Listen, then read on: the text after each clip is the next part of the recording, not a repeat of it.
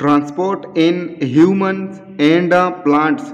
इसके हवाले से आज हमारी तीसरी वीडियो है।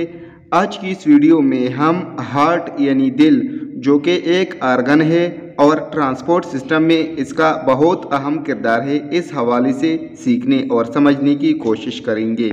हार्ट दिल। दी हार्ट दिल जो है, दी हार्ट दिल इज़ ए मस्कुलर, एक ओजलाती पंप पंप है यानी the heart is a muscular pump दिल एक ओजलाती पंप है यानी पंप करने वाला आर्गन है विच पुशेज जो पुश करता है या धकेलता है ब्लड खून को अराउंड दी होल बॉडी तमाम जिसम के इर्द गिर्द यानी तमाम जिसम में खून को पुश करता है यानी दिल एक ऐसा आर्गन है जो कि पंप करने वाला मस्कुलर आर्गन कहलाता है और इसका काम ये है कि तमाम बॉडी में खून को पुश करता है। बाई कॉन्ट्रेक्शन एंड रिलैक्सेशन यानी सुकड़ने और पेलने के अमल के ज़रिए से कॉन्ट्रेक्शन एंड रिलैक्सेशन यानी सुकड़ना और पेलना, इस अमल के ज़रिए से ऑफ़ इट्स मसल्स इनकी जो ओजलात होते हैं, इनके जो मसल्स होते हैं, इनके ज़रिए से एंड इज़ और ये दिल जो है है इज़ की मानी है एंड और इज़ ये दिल है ऑफ़ द साइज़ जिसामत में, यानी इनका साइज़ है ऑफ़ ए ह्यूमन, एक इंसान का फिस्ट, जो एक बंद मुट्ठी होता है, यानी इंसान का जो एक मुक्का या एक मुट्ठी के बराबर इनका साइज़ होता है। जिस तरह हम अपने हाथ को जब बंद कर देते हैं तो उनका जो साइज़ होता है इतना ही साइज़ हमारे दिल का भी होता है। इट इज़ लोकेटेड ये वाक़ होता है, यानी ये लोकेटेड होता है वाक़ होता है। इन दी चेस्ट कीविटी सीने का जो खाना है, यानी हमारे जो चेस्ट होते हैं, हमारी सीने का जो खाना होता है कीविटी होता है, वहाँ पे ये लोकेट यानी वहाँ पे ये वाक़ होता है। बिटवीन दी टू लंग्स दो पेपड़ों के दरमियान, यानी हमारे बदन में दो पेपड़े हैं। उन दो पेपड़ों के दरमियान जो एक खाना होता है सीने का, वहाँ पे दिल वाक़ होता है। दी हार्ट दिल जो है इज़ है। प्रोटेक्टेड बाई रिब्स इनकी हिफाजत की जाती है प्रोटेक्टेड इनकी हिफाजत की जाती है बाई दी रिब्स पसलियों के ज़रिए से एंड कवर्ड और ये डांपा रहता है, यानी इसकी ऊपर कवर होता है या ये डांपा रहता है, बाई ए टफ, एक मुश्किल या एक टफ, डबल वाल्ड, यानी दोहरी वाल्ड, डबल दोहरा वाल्ड दीवार मेम्ब्रेन, वाल्ड मेम्ब्रेन, यानी वो मेम्ब्रेन जो डबल वाल्ड पर मुश्तमिल होते हैं, इसके ज़रिए से या इसके अंदर एक दिल डांपा रहता है। कार्ड पीरिकार्डियम उनको हम पीरिकार्डियम बोलते हैं। यानी जो डबल वाल्ड मेम्ब्रेन होते हैं, उनको हम साइंस की ज़ुबान में पीरिकार्डियम बोलते हैं। In between the walls in walls या इन दीवारों के दरमियान, यानी ये जो मेम्ब्रेन वाल होते हैं, इनके दरमियान ऑफ़ दी मेम्ब्रेन्स, इनके जो मेम्ब्रेन्स होते हैं, इनके वाल्स दीवारों के दरमियान ए फ्लूड एक माया या एक फ्लूड सा मौजूद होता है एज प्रेजेंट मौजूद होता है विच लुब्रिकेट्स जो कि लुब्रिकेट कर देता है या चिकनाई देता है। यानी इसको तेल जैसी मतलब जिस तरह किसी चीज़ को हम तेल देते हैं तो उसमें चिकनाहट आ जाती है।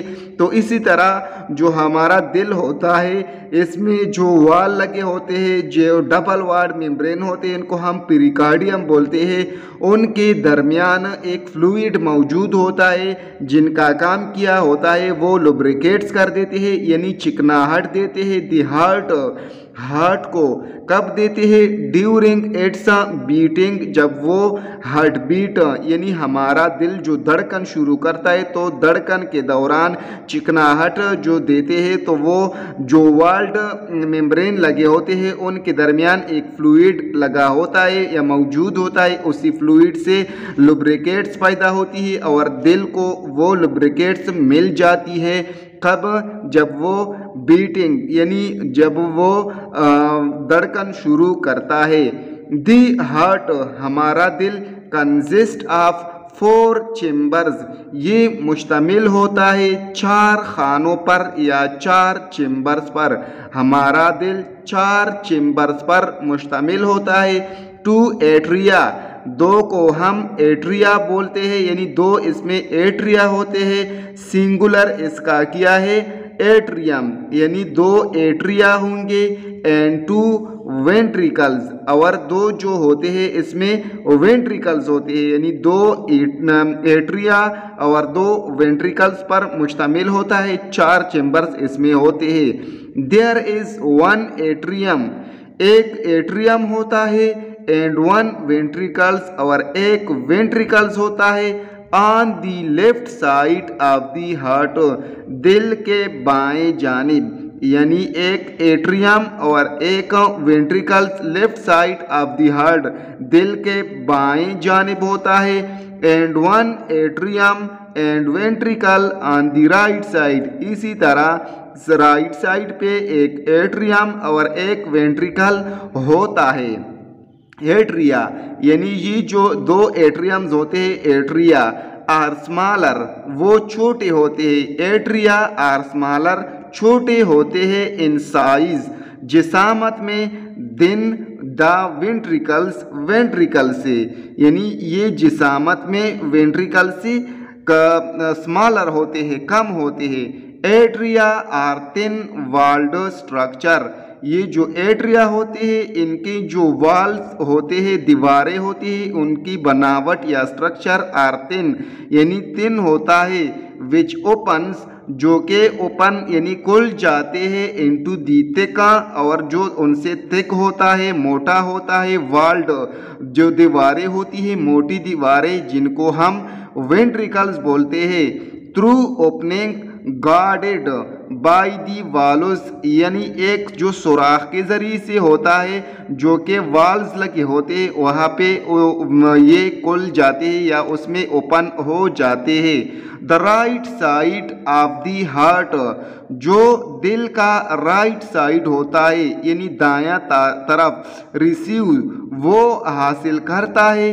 डी ऑक्सीजनेटेड ब्लड वो खून जो डी ऑक्सीजनेटेड होता है, यानी डी ऑक्सीजनेटेड ब्लड क्या होता है?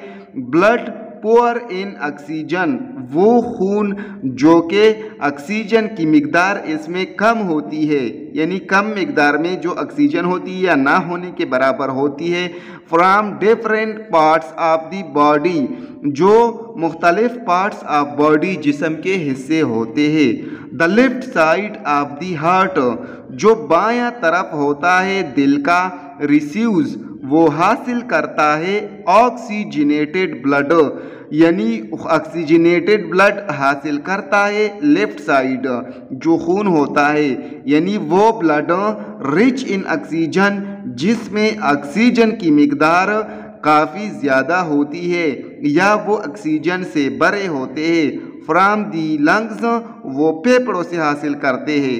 And pumps it to the rest of the body और इसको बाकी जिसम के तमाम हिस्सों तक पंप कर देता है तो दोस्तों, आज की इस वीडियो में हमने हार्ट के हवाले से पढ़ा कि ये मस्कुलर आर्गन है या मस्कुलर पंप है, और ये चार चेम्बर्स पर मुश्तमिल होता है, और ये रिप्स के ज़रिए से इनकी प्रोटेक्शन होती है, और इनके दरमियान एक फ्लूड होता है, पेरिकार्डियम जो होता है, इसके ज़रिए से इसकी हिफाजत की जाती है, या उसके, उसमें ये कवर होता है, यानी डांपा रहता है, और जो हार्ट बीटिंग होती है, उसके लिए लुब्रिकेशन का अमल कहाँ से आता है फ्लूड्स तो ये पिरिकार्डियम जो होता है वहाँ पे ये लगा होता है और ये चार खाने, और यहाँ पे हमने ये सीखा कि एट्रिया जो होता है ये स्मॉलर होता है दिन दी विंट्रिकल्स और ये भी सीखा कि जो